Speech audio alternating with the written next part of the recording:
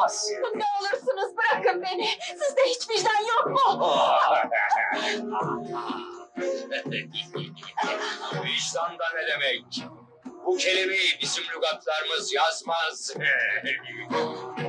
Analarınızın, kız kardeşlerinizin, varsa karılarınızın bağışı için ırzımın namusumu bana bağışlayın. Bu kötülüğü yapmayın bana. Bırak şimdi hırsını namusunu. Sen canını bizden kurtarmaya bak. Allah'ınız, peygamberiniz, dininiz, imanınız yok mu sizin?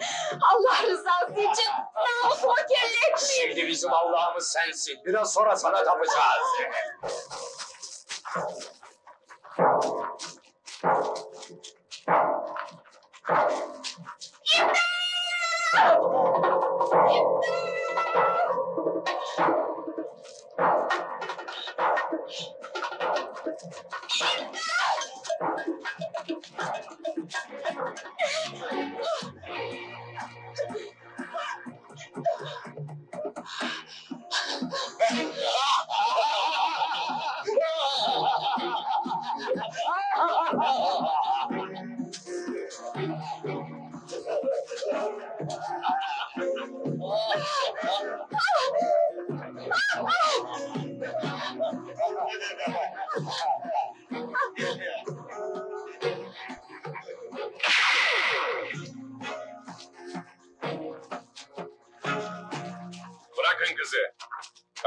Kaçmaya falan da kalkmayın.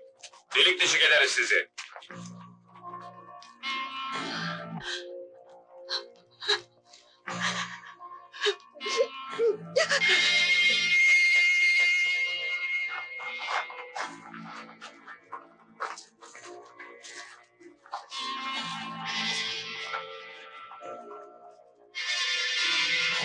Kızın sırtına bir pardüsü ver.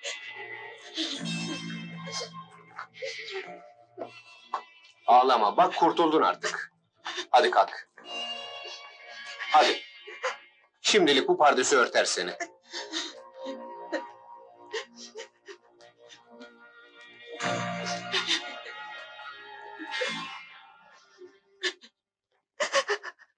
Buraya gelsene kızım.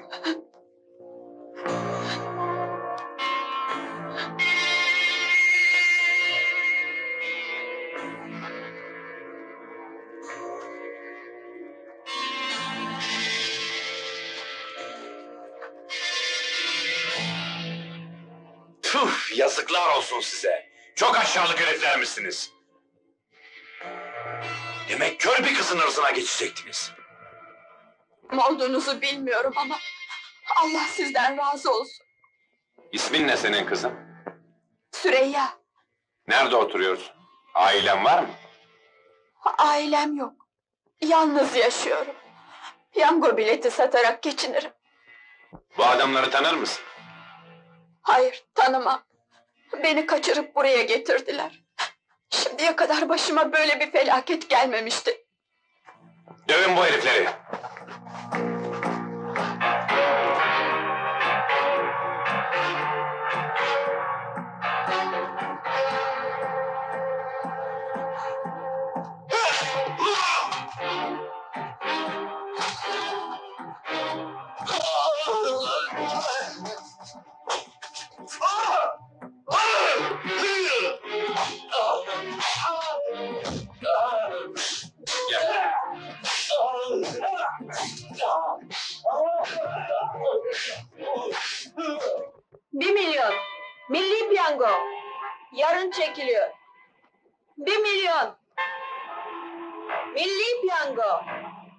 Çekiliyor. Bir milyon.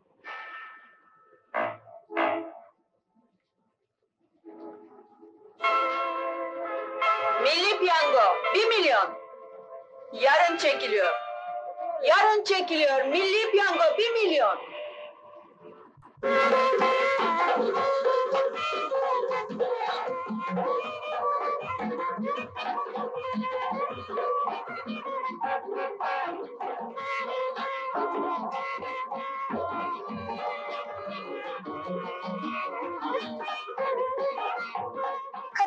Karşı nefretiniz ne zamana kadar devam edecek? İnsan sevdiği kadar nefret de eder. Günün birinde siz de bir kadın sevmeyecek misiniz? Yoksa hep böyle bir gecelik kadınlar mı olacak hayatınızda? Böylesi daha iyi. Sevmekten mi korkuyorsunuz? Evet.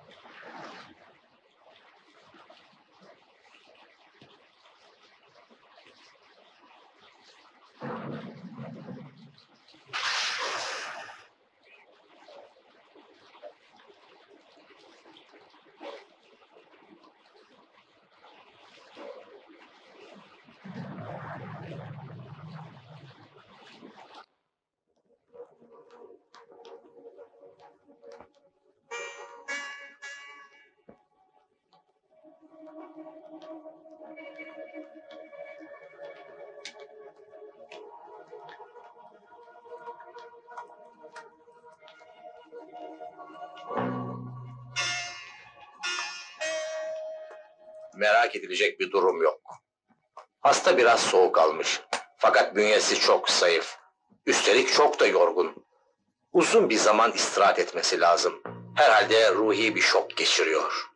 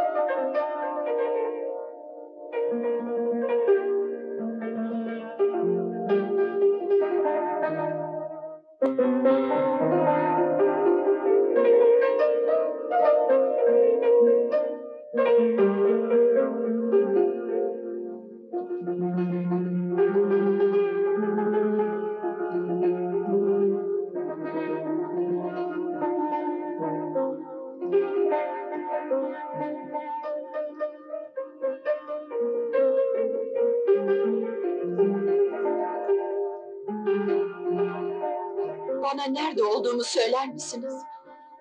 Buraya nasıl geldim? Siz kimsiniz? Endişe etme, korkacak bir şey yok. Burası benim evim. Ben getirdim seni buraya. Siz... Siz... Beni o canavarların elinden kurtaran insansınız. Tanıdım sizi. Burada iyi insanlar arasındasın. Hadi gel oturalım.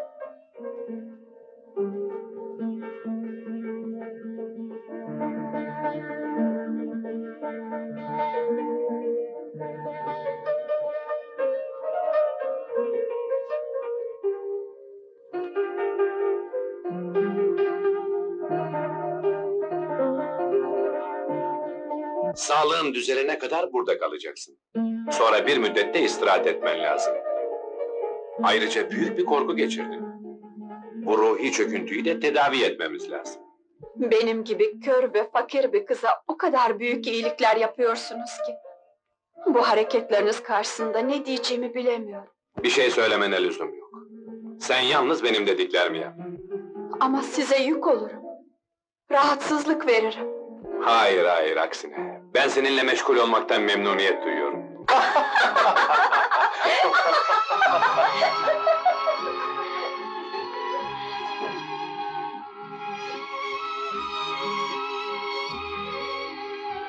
Patronun bir kadına karşı ilgi duyduğunu ilk defa görüyorum. Onun ruhunda hangi fırtınaların estiğini kimse anlayamaz.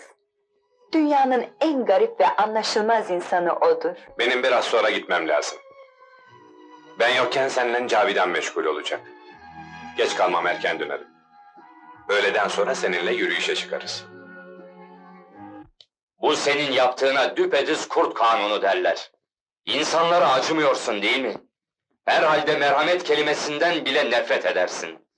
İnsafsız ve çok zalimsin. Gaddarlığın bu derecesini ancak sen yaparsın. İçinin zehrini epey döktün. Ama bu sözlerinle sen kendini anlattın. Ben aynadaki yüzüme utanmadan bakarım. Bunu sen de bilirsin. Sen bütün hayatınca yalnız kötülük yaptın. Şimdi ne diye benden iyilik dileniyorsun? Hayır, sen acınacak insan değilsin. İmzala şu kağıtları yoksa buradan leşin çıkar.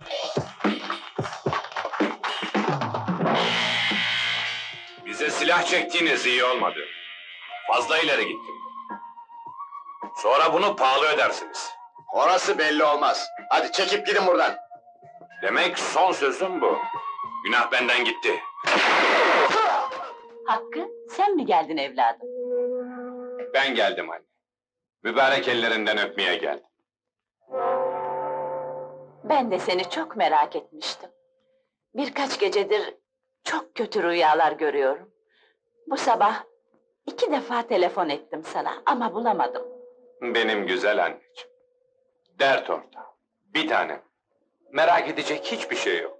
Aksine çok iyiyim. Senin hayır duaların üstümde oldukça bana hiçbir şey olmaz. Nihayet sen de aşık oldun. Ben sana dememiş miydim? Sen büyük laf konuştun. Bir daha sevmem dedin. Bak işte görüyorsun ki benim dediğim çıktı. Ben size Süreyya'ya karşı olan duygularımdan bahsettim. Başka bir şey söylemedim. Yok, itiraz etme. Benim gözlerim görmez ama ben insanların içini okurum. Bunu sen çok iyi bilirsin. Benim akıllı, melek anneciğim. Sevginin, aşkın, insanın kalbine ne zaman, nasıl gireceği hiç belli olmaz. Hadi, hadi biraz cesur davran da bu kızı sevdiğini bana açıkça söyle.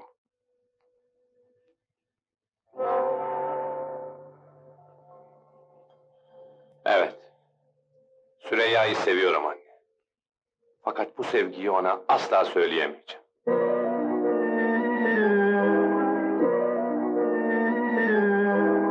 Görmemek, karanlık bir dünyada yaşamak ne kadar acı. Kim bilir burası ne güzeldir. Bana bulunduğumuz yeri tarif eder misin? Tam yanımızda deniz var. Etraf ağaçlarla dolu. Yürüdüğümüz yer yemyeşil, çimenlik. Çiçek toplamak ister misin? Hayır, çiçek kopartmayı sevmem. Kıyamam onlara. Gözlerin ne zamandan beri görmüyor? Doğuştan mı? Hayır, doğuştan değil. Sonradan kör oldum. 11 yaşında ağır bir hastalık geçirdim. Ölümden kurtuldum ama gözlerim kör oldu. Anneni babanı ne zaman kaybettin? Babam ben çok küçükken ölmüş. Annem daha sonra öldü. Gözlerin için bir doktora falan gitmedin mi? Hayır, gitmedim.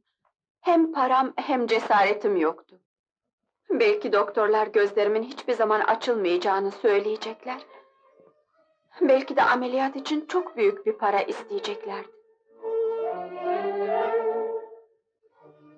Bu güzel gözlerin dünyayı görmesi lazım.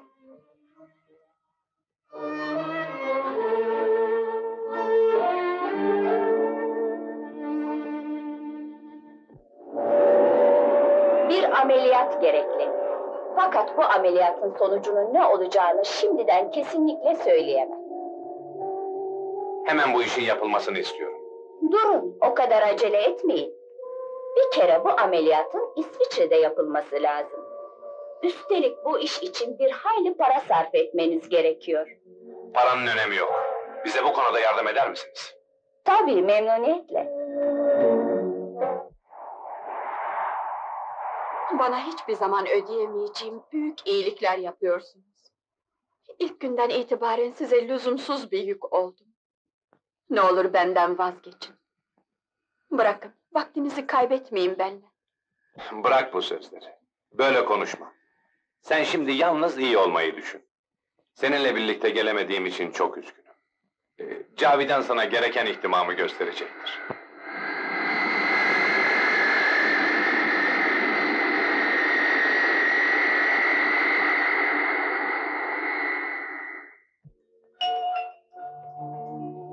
Ameliyat başarıyla geçti. Sargılarımın çözüleceği günü ölecek gibi heyecanla ve korkuyla bekliyorum. İnanır mısınız? Gözlerimin açılmasını artık bir tek şey için istiyorum. Sizi görmek için. Bana o kadar büyük iyilikler yaptınız ki beni yeniden yarattınız desem az şey söylemiş olurum. Devamlı olarak size kavuşacağım günleri düşünüyorum. İyi haberler var mı mektupta? Nasılmış? Ameliyat iyi geçmiş mi? Evet, iyi geçmiş. Şimdi sargılarının açılmasını bekliyormuş. Allah'ıma şükürler olsun.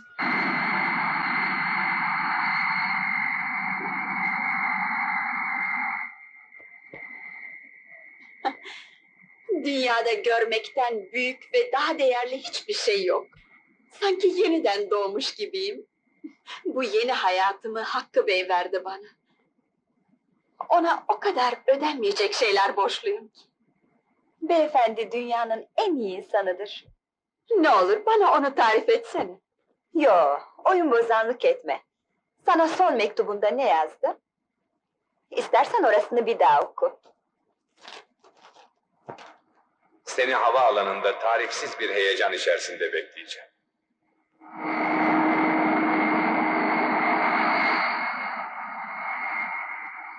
Bakalım beni o kadar kalabalık arasında bulup tanıyabilecek misin?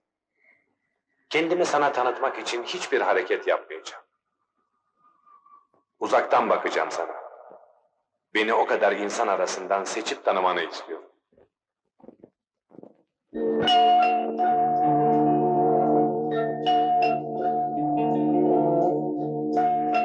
Geliyorlar.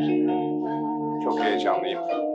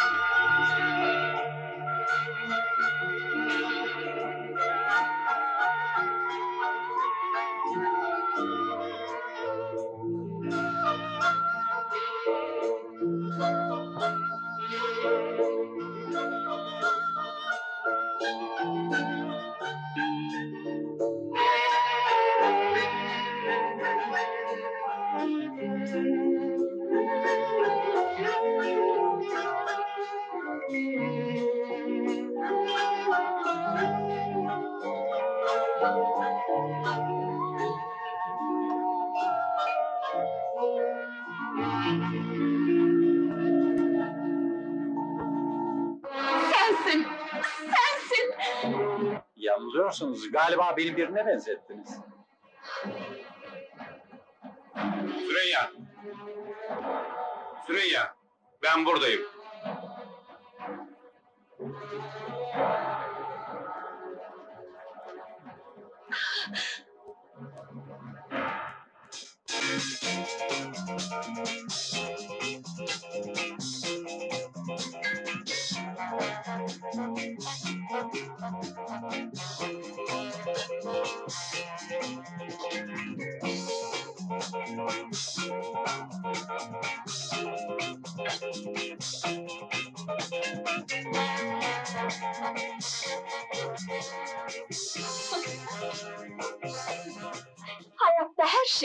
Size borçluyum. Canımı, namusumu, sağlığımı, görmemi. Siz beni yeniden yarattınız. Bu yeryüzünde Allah'tan sonra yalnız siz varsınız. Önce benimle siz diye konuşma. Sonra bırak artık bu lafları. Benim sorduğum şeylere cevap ver. Konuşacak o kadar zamanımız var ki. Her şeyden evvel size minnettarlığımı söylemem lazım. ne yapayım? Kendimi tutamıyorum. İçimden öyle geliyor. Haklısın ama bu konudaki sözlerin utandırıyor beni. Ben de içimden geldiği gibi hareket ettim. Fazla bir şey yapmadım. İkimiz için de bundan sonra dünya çok güzel olacak. Her şeyi sizinle birlikte görmek istiyorum. Sizinle değil, seninle de bakalım. Peki, seninle. Yarın oturup senin için bir gezip görme programı yapmamız lazım. Dünyayı, insanları görmek, tanımak için çok zaman kaybettim. Karanlıkta geçen senelerimi de yaşamam gerek.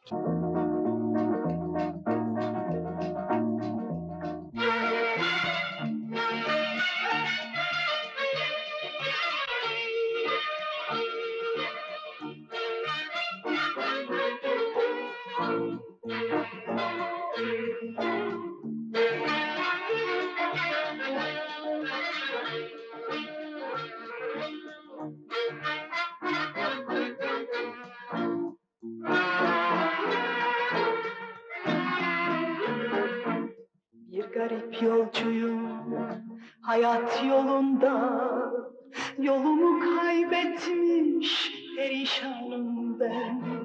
Bir garip yolcuyum hayat yolunda Yolumu kaybetmiş perişanım ben. Mecnun misali gurbet ellerde Ümitsiz sevginin kurbanıyım ben.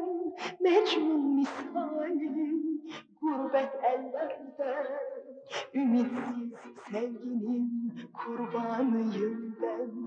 Yalan dünya her şey bomboş. Hancı sarhoş yolcu sarhoş. Yalan dünya her şey bomboş Hancı sarhoş yolcu sarhoş Çok güzel bir sesin var. Şarkı söylemeyi nereden öğrendin?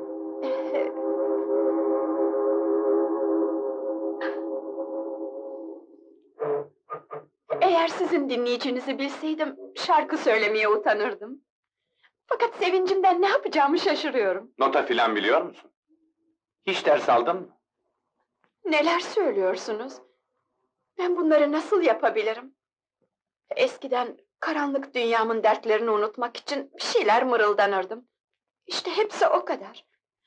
Şimdi ise sevincimden şarkı söyledim. Mükemmel bir sesin var. Sana bir müzik hocası tutacağım. Yoksa beni şarkıcı mı yapacaksınız? Neden olmayasın? Böyle bir şey aklımın köşesinden bile geçmez. Bu konuyu sonra konuşuruz. Bugün nereye gideceğiz biliyor musun? Hayır, bilmiyorum. Bak, dinle.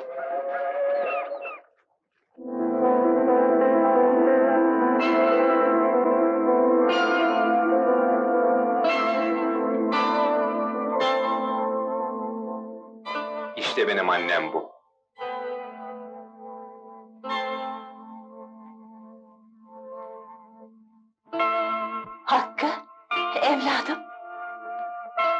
Geldin kızım. Hoş geldin yavrum. Hoş bulduk efendim. Dur ben de seni öpeyim.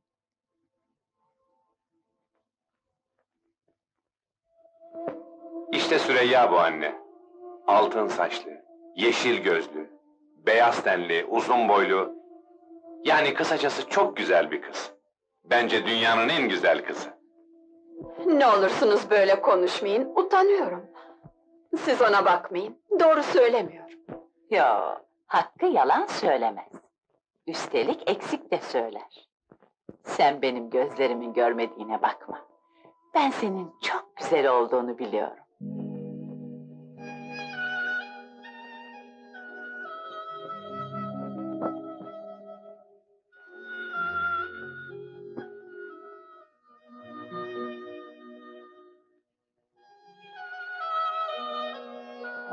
Annemden ve benden başka hiç kimse giremez.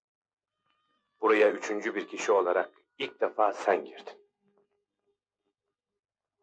Resimdeki çocuk benim. Babam ben çok küçükken ölmüş. Babamın ölümünden sonra beş parasız kalan kör anam. Bana bakmak için sokaklarda şarkı söyledi, ben de keman çaldım. İşte ben böyle bir sefalet içinde büyüdüm.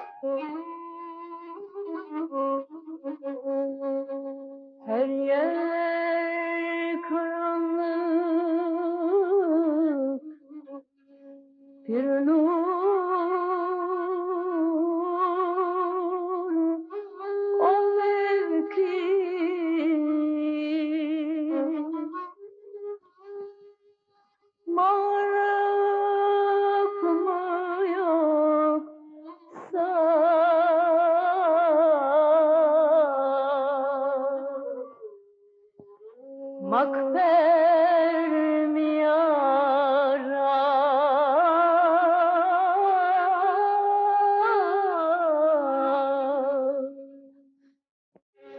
Yokluk günleri bitmek tükenmek bilmiyordu. Hayatımın en güzel seneleri fakirlik içinde geçti. Ama günün birinde kurtlar sofrasından ben de nasibimi aldım. Şimdi şu duvara bak.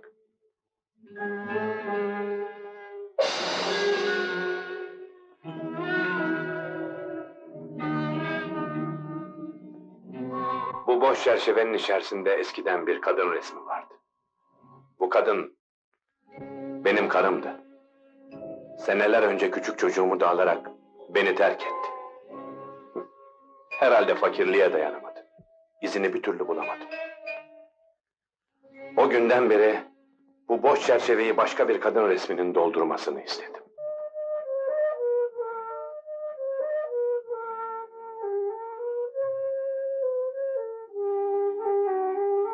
Bu yolculuk kötü bir zamana isabet etti.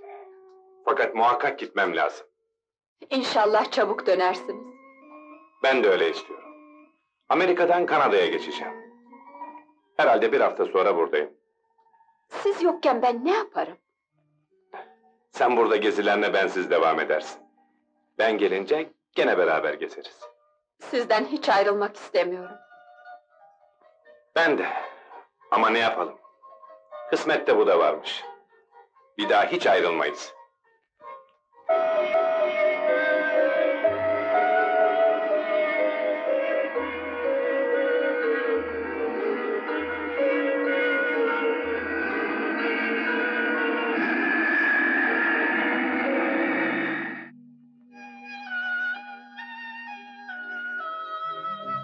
Sonra aramızda şöyle bir şey kararlaştırdık. Beni havaalanında karşılayacak. Fakat kendisini bana tanıtıcı hiçbir hareket yapmayacak. Ben onun kim olduğunu bulacaktım. Bundan sonrasını biliyorsunuz. Sizin Hakkı Bey olduğunuzu sanıp koştum boynunuza sarıldım. O günü hiç unutamadım. Günlerdir seni düşünüyorum. Bana sarıldığın zaman söylediğin sözleri yüzlerce kere tekrarladım. Bir rüya, bir hayal görmüş gibiydim. Bir tesadüfü ne diye bu kadar büyütüyorsunuz? Hayır, bu tesadüf değil.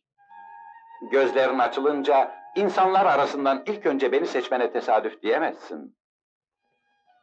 Bu davranışında çok büyük bir mana var. Siz ne iş yapıyorsunuz? Bir gün havaalanında, bir gün de müzede sizi gördüm. Rehberlik yapıyorum. Rehber de ne demek? Yani İstanbul'a gelen yabancıları gezdiriyorum. Tarihi yerleri gösteriyorum onlara. Buraları bana da gezdirir misiniz? Biliyorsunuz eskiden kördüm. Şimdi dünyayı görüp tanımak istiyorum.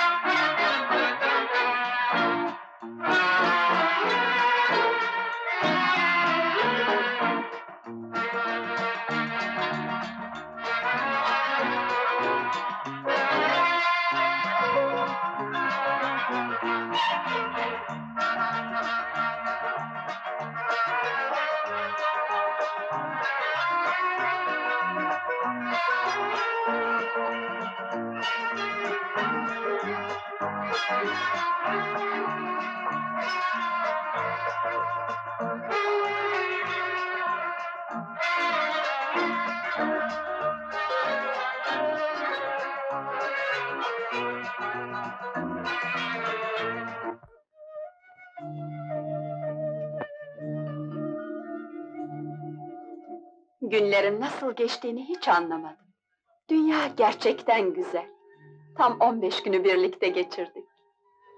Ömrümün en güzel günlerini yaşadım. Bak Süreyya, şimdi beni iyi dinle. Bu kolyeyi bana senelerce önce annem verdi. Verirken de bir istekte bulundu. Bu onun son arzusuydu. Müsaade edersen annemin arzusunu kolyeyi taktıktan sonra söyleyeceğim. Ama nasıl olur? Bu çok güzel bir hatıra. Ne diye veriyorsun? Ancak senin boynuna yakışır.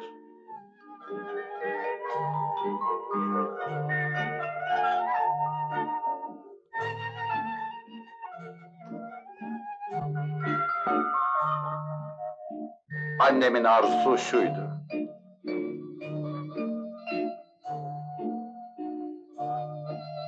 Bu kolyeyi ilk defa aşık olacağım, ebediyen seveceğim ve uğrunda ölümü bile göze alacağım kıza vermem istemişti.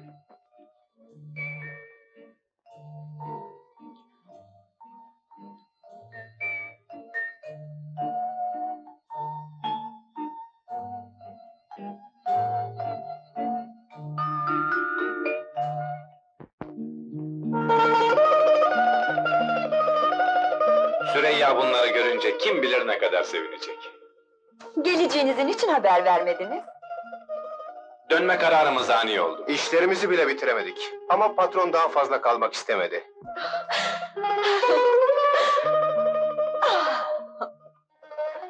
Bir daha beni yalnız bırakmayın. İnşallah bu son ayrılığımız olur. Bundan sonra gittiğim yere seni de götüreceğim. Yokluğunun benim için ne büyük bir kayıp olduğunu senden ayrılınca daha iyi anladım. Bak bakalım bunları beğenecek misin? Ne şeyler bunlar. Nereden aldınız? Nasıl bu kadar güzellerini seçtiniz? Sahi bu elbiseleri beğendin mi? Ben de beğenmeyeceğinden korkmuştum. Kim beğenmez bunları? Oh, hem renkleri hem modelleri güzel. bu kadar şahane elbiselerim olacağı hayalimden bile geçmez. Yok canım fazla büyütme. İstediğim şeyleri bulamadım. Aa, bir de gelinlik almışsınız. Bunu da mı bana aldınız? Tabii senin için. Belki bir gün lazım olur. Hazırda bulunması daha iyi değil mi? Kim bilir Süreyya'ya gelinlik ne yakışır. Ne diyeceğimi bilemiyorum. Ama hediyelerin en güzeli bu. Şarkı dersleri nasıl gidiyor? Fena değil. Biraz sıkıcı ama gene de faydalı. Bugün ayın kaçı? 15'i? Peki sekiz gün sonra ne yapacağız? Bilmem. Sekiz gün sonra senin doğum günün. O gün sahneye çıkacaksın. Neler söylüyorsunuz? Korkutmayın beni. Gazete ilanları hazır. Afiş tam istediğim gibi olmuş. Fakat renkler biraz daha canlı olmalı. Bu işi başaramayacağım diye çok korkuyorum. Ya sesimi beğenmezlerse? Ya bir aksilik çıkarsa? Bunların hiçbiri olmayacak ve sen Türkiye'nin en meşhur ses sanatçısı olacaksın.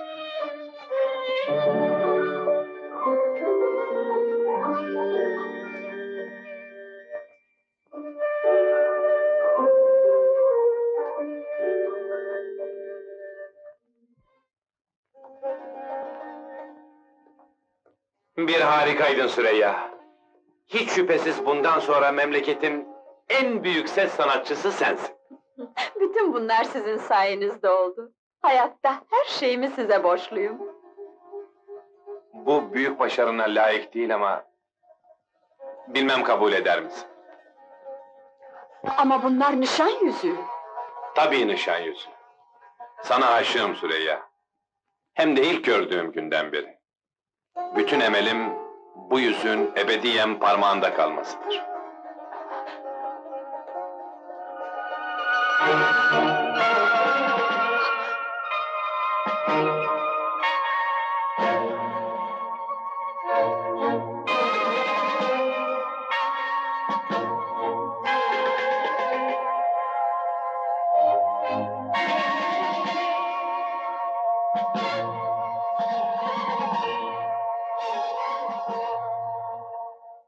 İstediniz?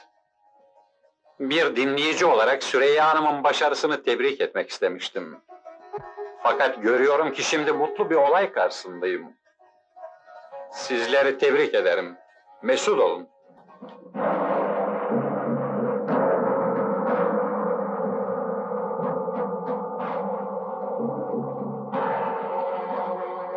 Bu havaalanında yanlışlıkla boynuna sarıldığın adam değil mi?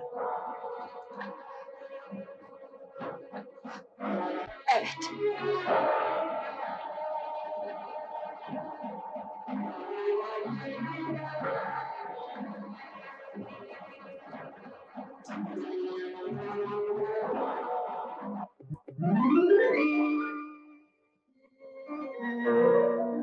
Bu acı gerçekle bir gün karşılaşacağımı biliyordum.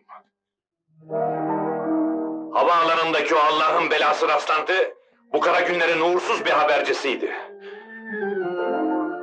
O gün, geleceğin benim için ne kadar karanlık olacağını gözlerimle gördüm. Ama sonra aldattım kendimi. Sana itimadım sonsuzdu. Sen benim kadınlar hakkındaki değişmez fikirlerimi değiştirmiştin. Her şey seninle iyiydi. Ama gene sen kendi ellerinle her şeyi yıktın. Biliyorum. Size ödenmeyecek şeyler borçluyum. Ne deseniz haklısınız. Varlığım bile size ait. Siz beni yeniden yarattınız, yoktan var ettiniz. Ama ne olursunuz bu kadar kötü görmeyin beni. Kötü görmek mi? Kötü bile görmüyorum seni. Lanet ediyorum sana. Geldin içime girdin. Ne hakkın vardı hayallerimi yıkmaya? Ne hakkın vardı?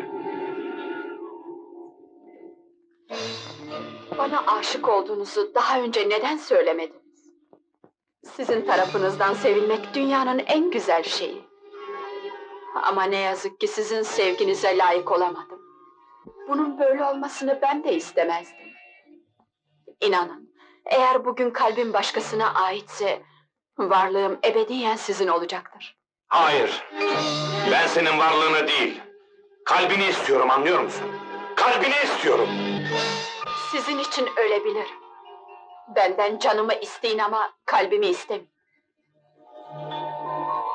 Canın da, kanın da, kalbin de bana ait. Kimseye veremezsin onu.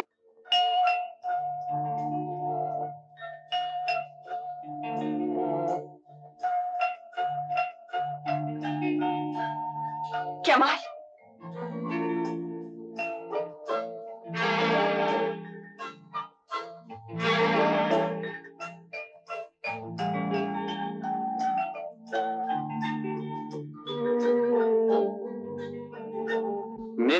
Görmek istedin? Seninle konuşmam lazım Kemal. Konuşacak bir şeyimiz kalmadı. Sen aşkımıza ihanet ettin. Zenginliği fakirliğe tercih ettiğini bana daha önceden söylemen gerekirdi. Bunları söylemeden önce beni dinlesen ne olur? Sevgi dolu, fakir bir kalbi terk edip elmaslarla süslü bir hayatı seçen bir insanın benden konuşacak nesi olur? Sana aşığım Kemal. Seni seviyorum. İşte hepsi bu kadar.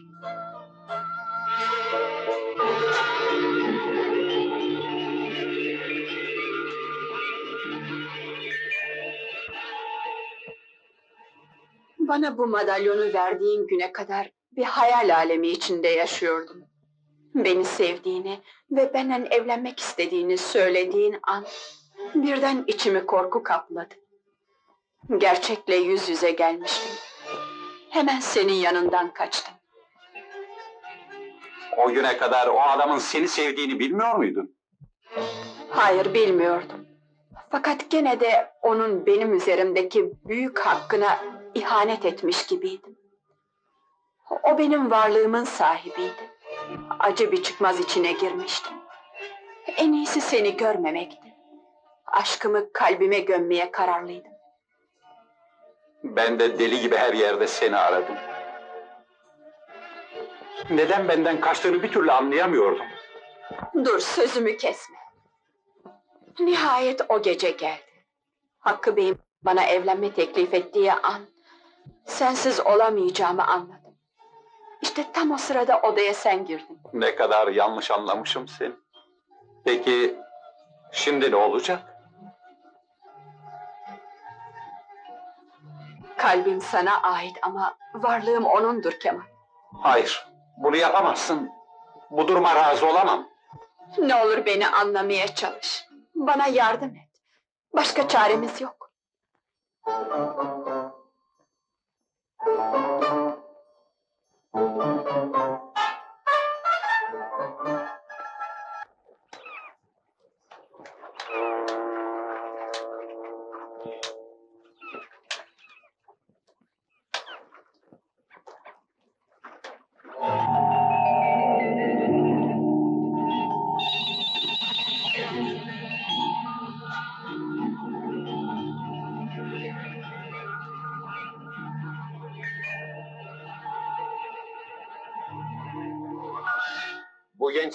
Konuşmak istiyor patron.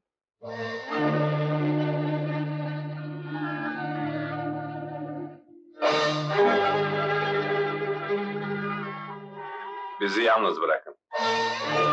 Sen de git Süreyya.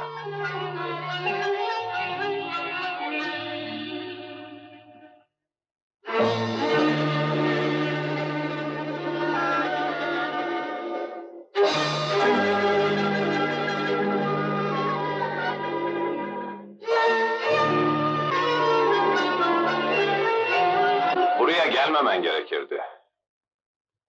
Cesur bir adammışsın. Konuş bakalım. Ben Süreyya'ya aşığım. O da beni seviyor. Evlenmek istiyoruz. Bu duruma sizin evet demeniz gerekiyor. İşte bunu söylemeye geldim. Süreyya'yı ben de seviyorum. Ben de ona aşığım. Buna ne dersin? Ama Süreyya beni seviyor. Sizi ise minnettarlık duygularıyla bağlı. Ona yapmış olduğunuz büyük iyilikler size bu konuda hiçbir hak tanımaz. Fakir bir adam olarak zengin ve meşhur bir kızla evlenmek istiyorsun değil mi? Hı. Ayrıca yaptığın aşık numaraları da fena değil. Süreyya'yı kör ve sefil bir halde sokaklarda sürünüyorken görseydin sevebilir miydin? Ben insanların ruhi değerlerine önem veririm. Sen bu yalanlarınla ancak çocukları ve aptal kadınları kandırabilirsin. Bana bak, Süreyya'dan hemen uzaklaşacaksın.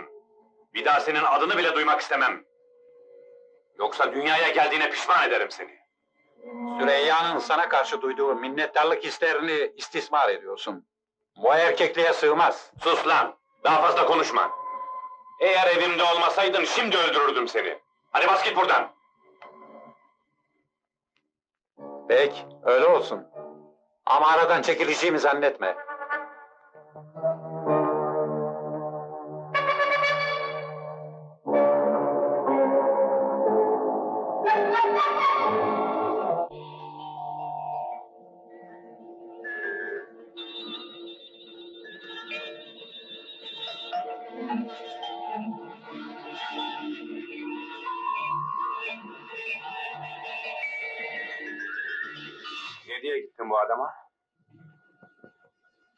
Bir daha gördün onu değil mi? Beni unutmasını söylemek için gittim. Aramızda her şeyin ebediyen bittiğini bilmesi lazımdı. Bak işte gene ortaya çıktı. Demek ki sözlerin yeterli olamamış. Bu çirkin oyuna artık bir son vermemiz gerek. Bir zaman sonra gerçeği o da anlar. Bu işten vazgeçer. Ona aşık olduğunu bildiği müddetçe bu pis küstahlık devam edecek. Sen böyle bir adamı nasıl sevebilirsin? Asıl mesele burada. Senin onu sevmemen lazım, anlıyor musun? Sevmemen lazım.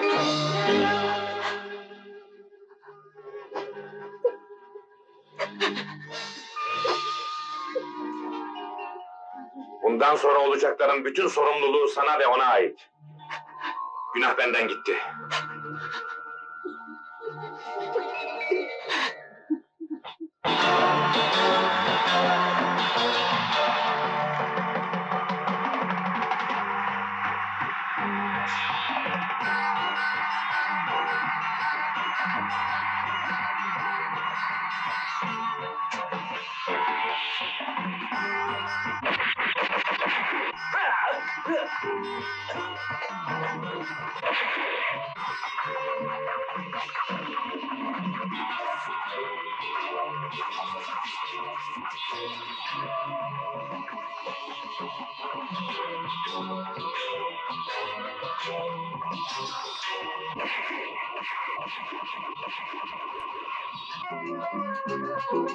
Dünya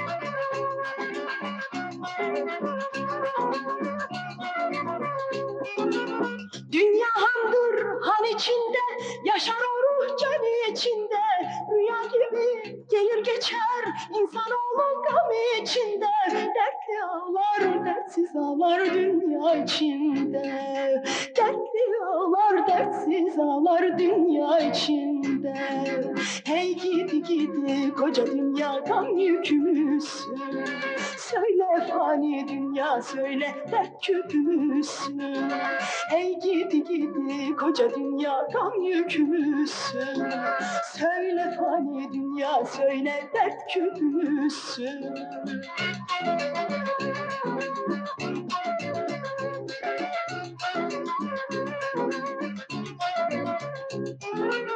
Dünya döner değirmendir, insan içinde çağlardır. Bugün gelen yarın gider, dolup boşalan bir handır.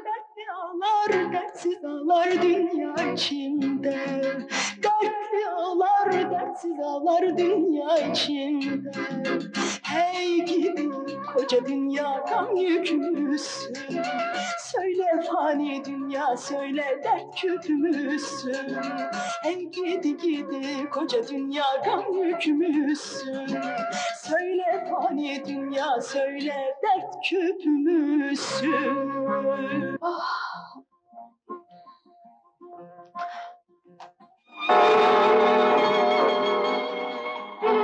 Kemal! Ne yaptılar sana? Kim vurdu seni? Yaran ağır mı? Merak etme. Yaram pek ağır değil. Kim olduklarını bilmiyorum. Ölümden güç kurtuldum. Peki ama kim yaptı bu alçaklığı? Benim hiç kimseyle düşmanlığım yok. Bu katilleri ancak bir kişi bana saldırtabilir. Kim olduğunu sen daha iyi bilirsin.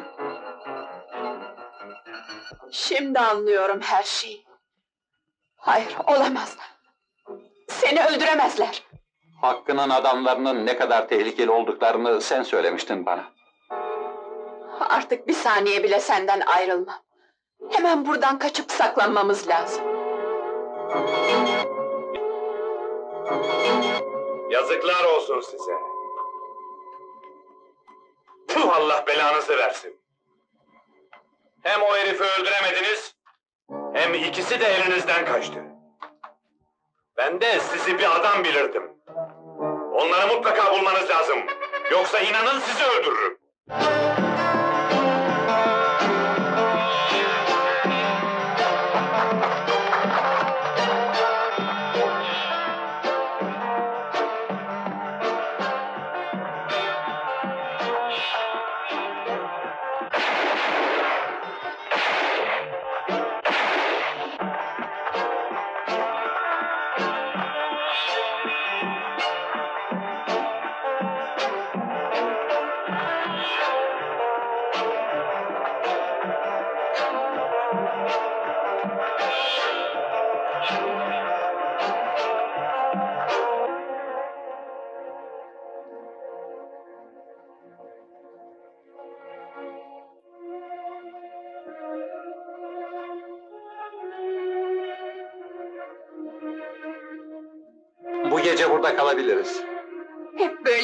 Olmasını isterdim. Ben de. Acaba bizim de böyle bir yerimiz olacak mı Kemal? Neden olmasın? Hem daha güzelleri olacak. Bu kaçıp kovalanmaktan içimde kötü bir şeyler olacakmış gibi bir his var. Boşuna üzülme. En güzel günleri bundan sonra birlikte yaşayacağız. Bu kara günler çok yakında sona erecek. Seni sevdiğimi dünya alem bilsin istiyorum.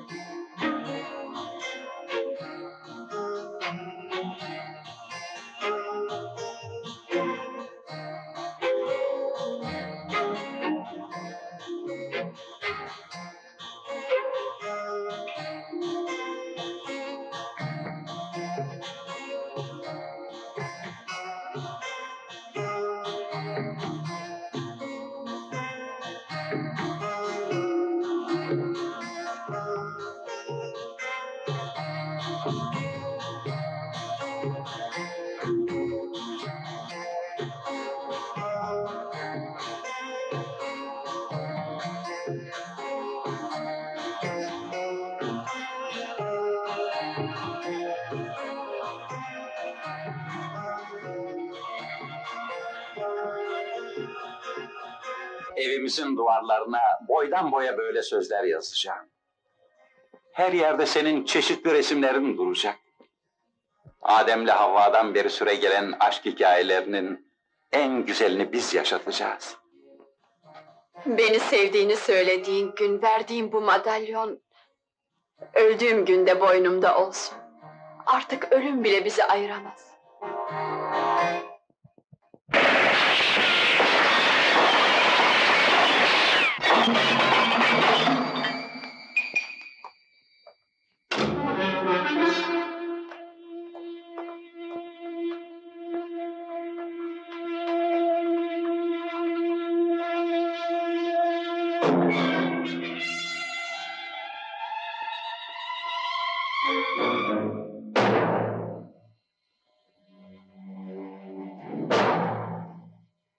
Demek öldüğün gün bu madalyonun boynunda olmasını istiyorsun.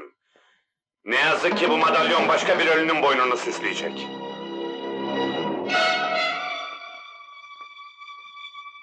Bağlayın.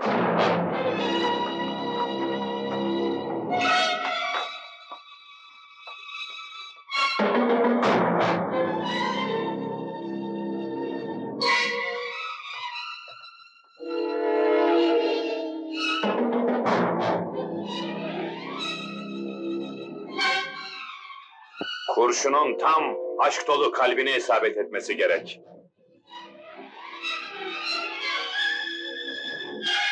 Önce aşkınızın sembolü olan madalyon, sonra kalbin parçalanacak.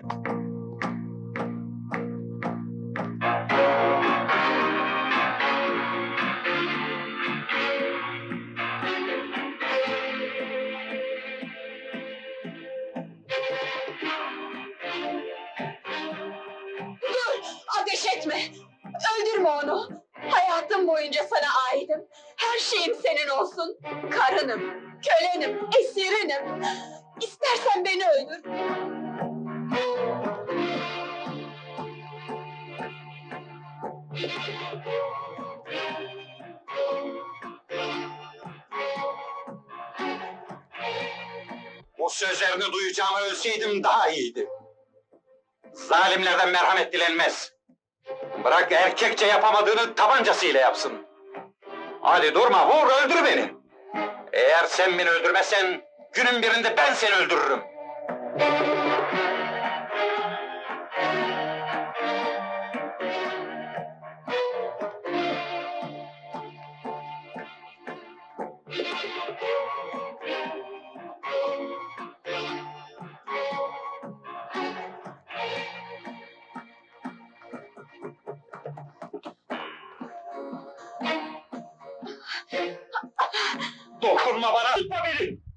Ne diyorsun Hakkı?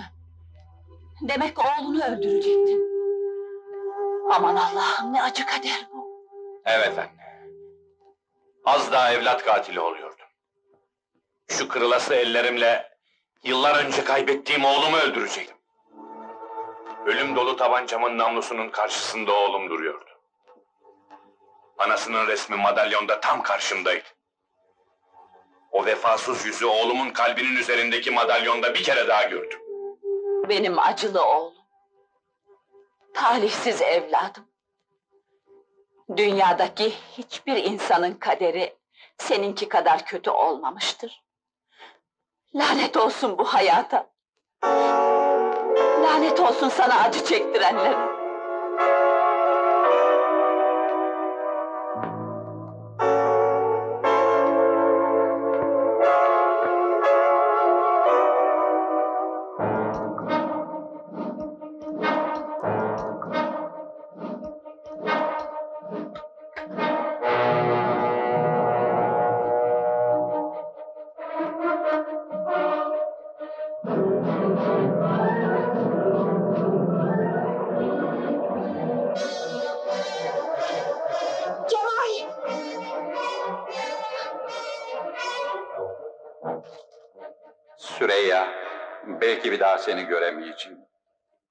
Hakkı'yı öldürmeye gidiyorum. Ama belki de o beni öldürür. Bu mektubun senin eline geçeceğini pek ümit etmiyorum ama gene de yazdım. Senin olmadığın bir dünya benim için ölüm demek. O aşağılık herife dönmene razı olamam. Ya Hakkı'nın ya benim ölmem lazım. Eğer yaşarsam o güzel yüzünü bir kere daha görürüm. Yok, eğer ölürsem seni sevdiğimi hiçbir zaman unutma.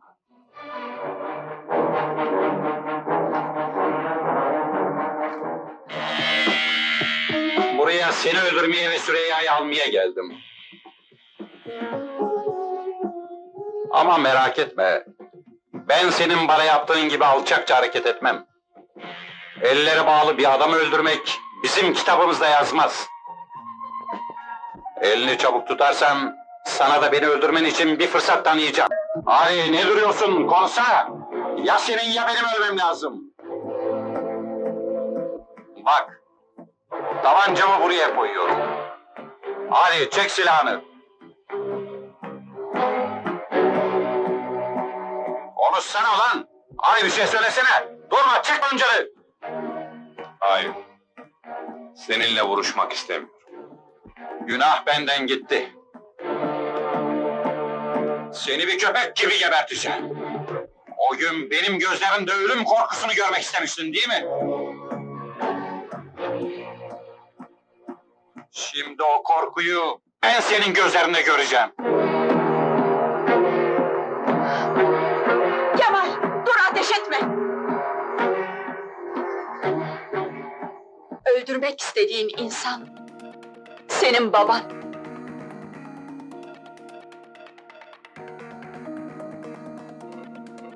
Madalyonda annenin resmini gördüğü için sana ateş etmedi. Baban gerçeği annesine anlatırken duydu.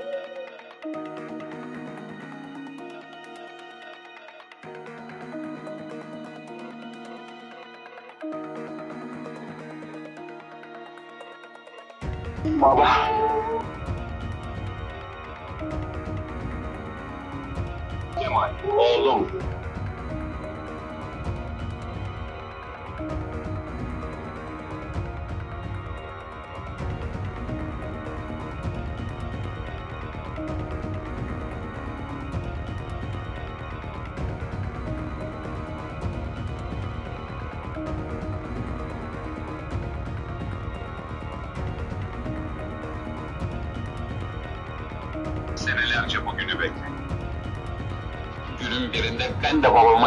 kavuşacağımı biliyordum.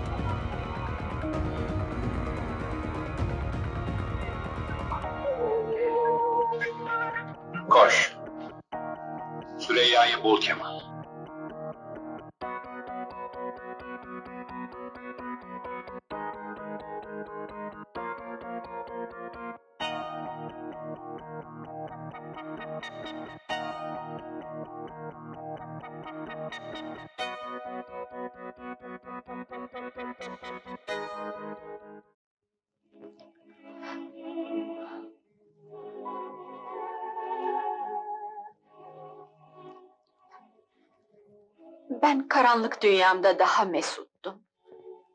Gözlerim açıldığından bu yana bir yığın acılı, kederli, kara günler yaşadım.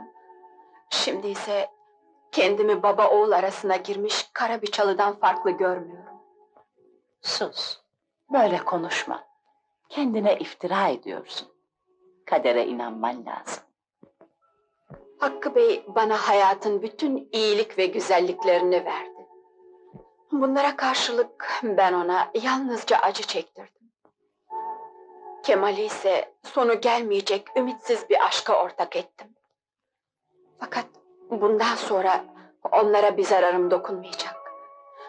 Artık ikisiyle de hiçbir ilgim kalmadı. Hala kendini suçluyorsun. Aklını başına topla. Mesut olmak senin de hakkın. Kemal'le evlenmen gerek Süreyya. Bunu ben istiyorum. Hayır, yapamam. Bir baba oğul arasında bırakmayın beni. Ömrümün sonuna kadar sizinle, burada, bu evde yaşamak istiyorum. Talihsiz, kadersiz yavrum. Sen benim dünya ve ahiret kızımsın.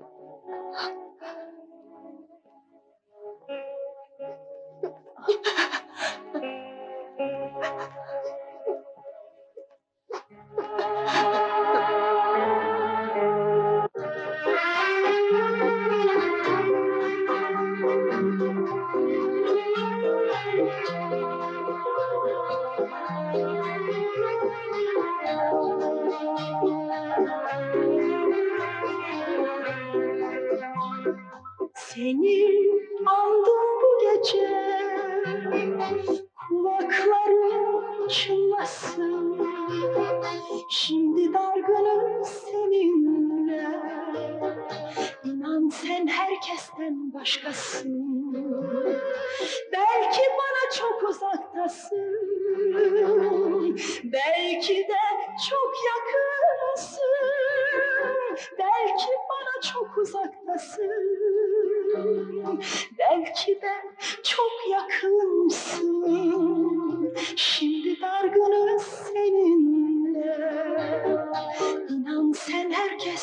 başkasın Şimdi dargınız seninle. İnan sen herkesten başkasın.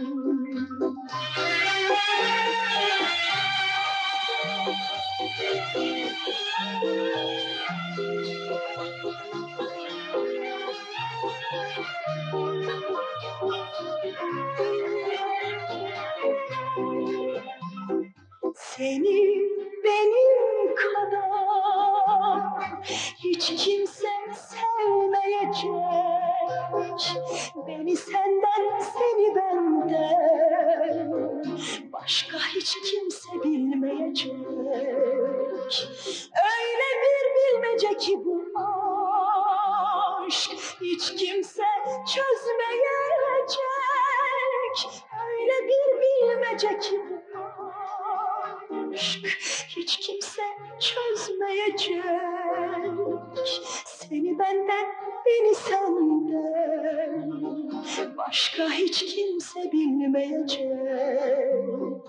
Beni senden, seni benden başka hiç kimse bilmeyecek.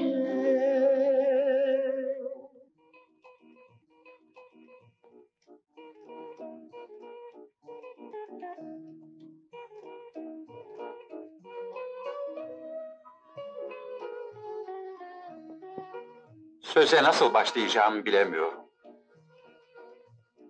Hiçbir şey söyleme Kemal. Artık o güzel günler geride kaldı. Bundan sonra beraber olmamıza imkan yok.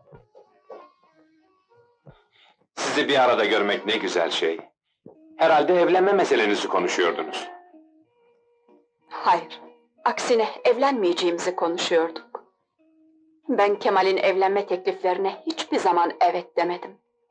Bunu daha önce de size söylemiştim. Ancak Kemal'in hayatı tehlikeye düşünce onun yanında olmak mecburiyetinde kaldım. Şimdi çok şey değişti Süreyya. Kemal'le evlenmeni mutlaka istiyorum. Bence değişen bir durum yok. Yapılması imkansız bir şeyi istemeyin bizden. Bu isteğinize ikimiz de hayır diyoruz. Süreyya haklı baba. Bu evlenme hiçbir zaman gerçekleşmeyecek. Hata ediyorsunuz. İnsanlar hatalarını sonra çok acı şekilde öderler. Karar verirken acele etmeyin. Gençsiniz. Önünüzde yaşanacak çok güzel günler var. Daha fazla ısrar etmeyin. Kararımızı kesin olarak verdik.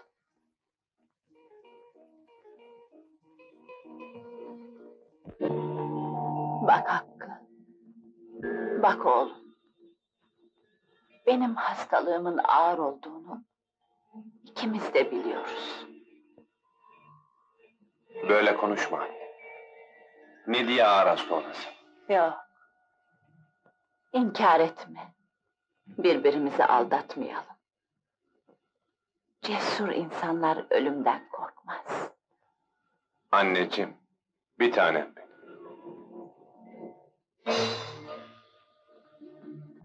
Sen benim için dünyanın en büyük insanlarından birisin. Sana asıl söylemek istediğim şu oğlum. Sen bir an gözlerimin görmediğine güvendin ama... ...ben senin ne halde olduğunu biliyorum.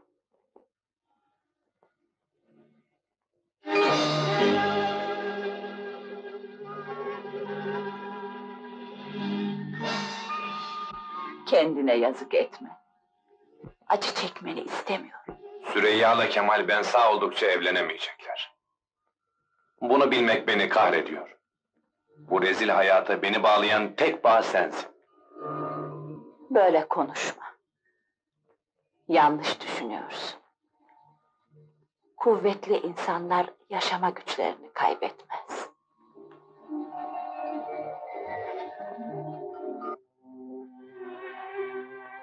Eğer annesini kaybederse Hakkı Bey çok yalnız kalacak Kemal. Gelecek günler beni de korkutuyor. Fakat elimizden ne gelir? Üçümüz de acı bir çıkmaza girdik. Kader kötü bir oyun oynadı bize. Biliyor musun? Bizim zavallı saadetimiz en kara günümüzden sonra gelecek. Ancak Hakkı Bey'in ölümünden sonra gerçekleşecek evliliğimizi düşündükçe delirecek gibi oluyorum Kemal. Babamın ölümünün evlenmemize sebep olacağını düşünmek ne acı bir kader.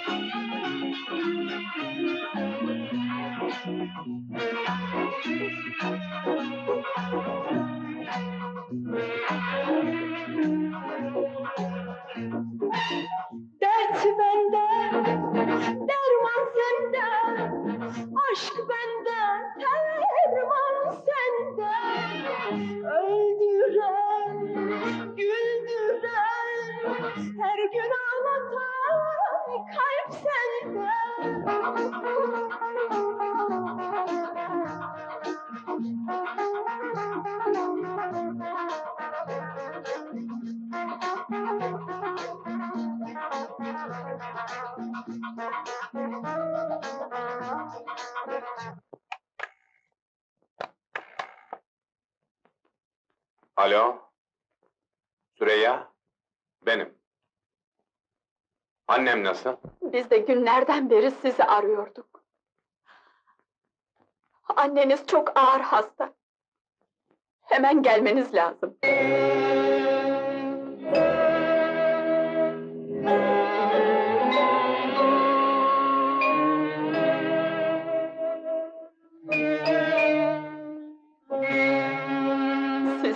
Telefon etmeden biraz önce ölmüştü.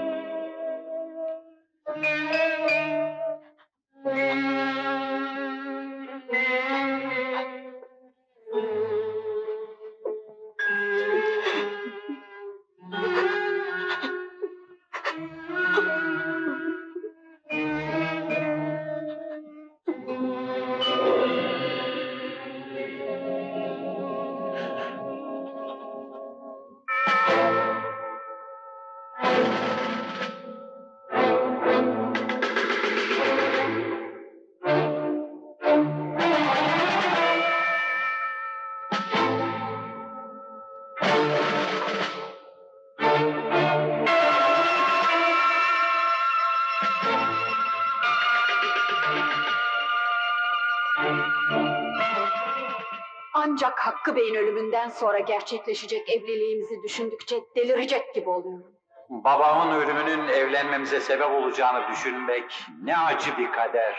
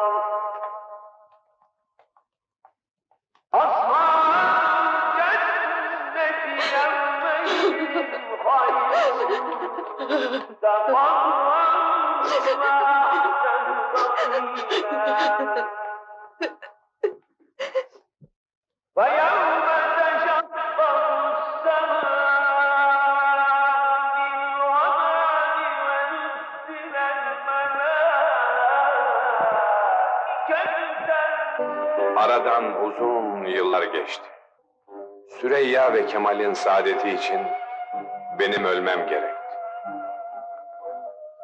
Onlar şimdi beni öldü biliyorlardı. Yıllarca Anadolu'da şehirden şehire sürüklendim durdum. Ölüm beni unutmuştu sanki.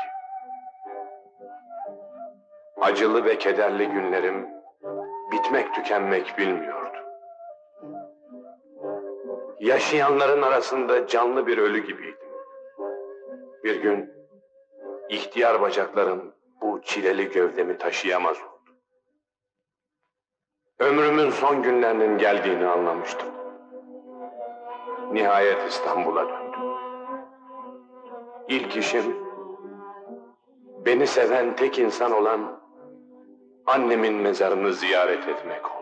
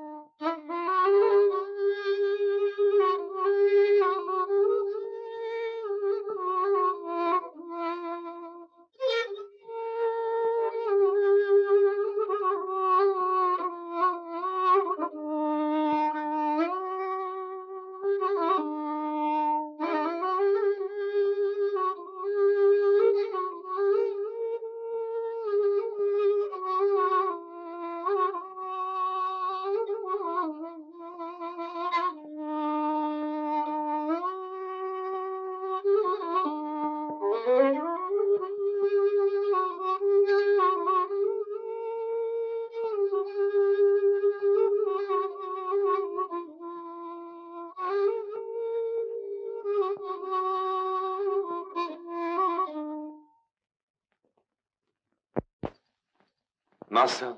Beğendin mi yavrum? Evet, çok beğendim. Çok güzel keman çalıyorsunuz. İsmin ne senin güzel kızım? Gül Deniz. Ne güzel ismin var senin kızım.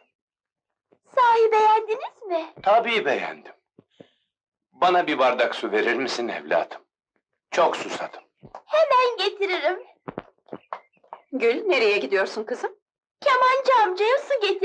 Gidiyorum anneciğim. Peki yavrum. Neden içeri girmiyorsunuz?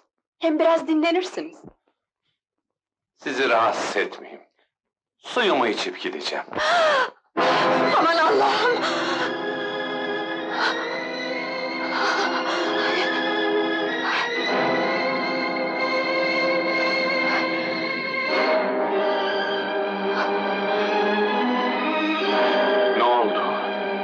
Hata mı ettim?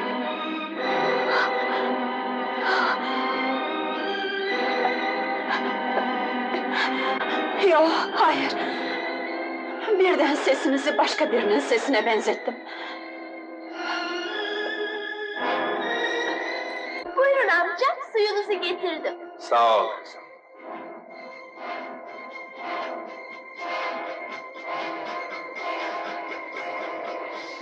Su gibi aziz ol Bizden beraber yemek yer misiniz? Lütfen bu ricamı kabul edin. Ama nasıl olur? Benimle birlikte nasıl yemek yersiniz? Ne olur amca, bizimle birlikte yemek yiyin.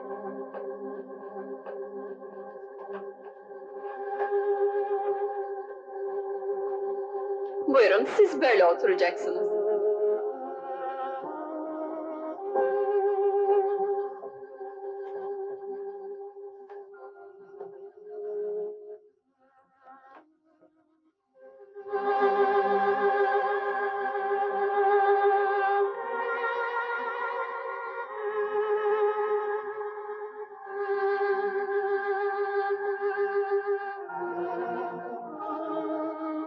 Bu resmin kimin olduğunu mu merak ettiniz?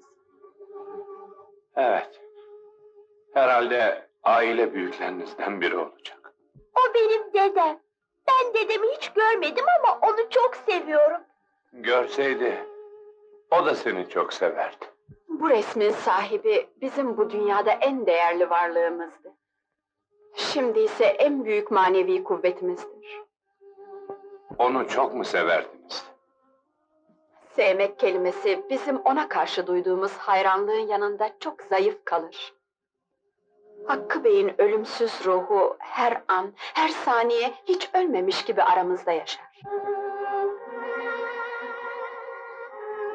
Babam bizim ailenin ebediyen reisidir. Sizin oturduğunuz yer ona aittir. Şimdiye kadar oraya kimse oturmadı. Orada ilk defa yemek yiyen insan sizsiniz.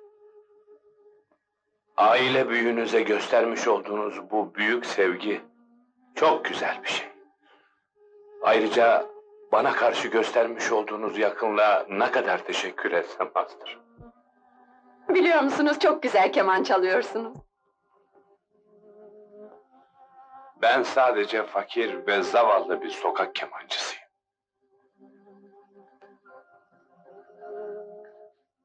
Demin çaldığınız parça bana çok eskiden duyduğum bir şarkıyı hatırlattı. Sizi bu akşam benim Kızılay yararına vereceğim konsere davet etsem gelir misiniz? Hayatımda ilk ve son defa Hakkı Bey'in çok sevdiği bir şarkıyı onun aziz hatırası için söyleyeceğim.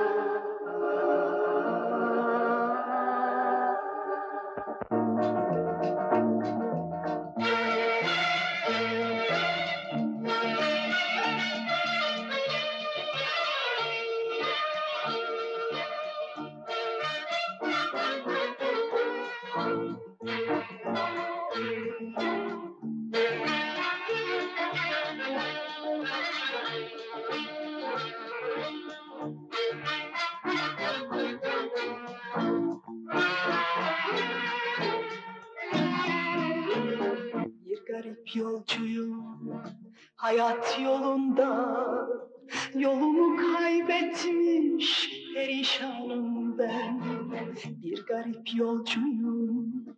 Hayat yolunda yolumu kaybetmiş perişanım ben. Mecnun misali gurbet ellerde ümitsiz sevginin kurbanıyım ben. Mecnun misali gurbet ellerde ümitsiz sevginin kurbanıyım ben. Yalan dünya her şey bomboş. Hancı sarhoş Yolcu sarhoş. Yalan dünya her şey